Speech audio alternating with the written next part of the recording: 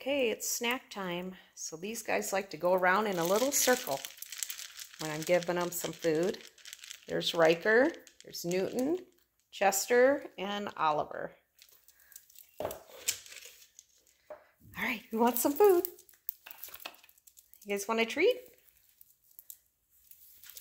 Oh, they're not going to do it. Usually the two twins, they go around in circles. Hi, Newton. Oliver, what are you doing? All right, there you go, guys. Come here, Riker. There's yours. Come here, guys. Okay, y'all got a little treat.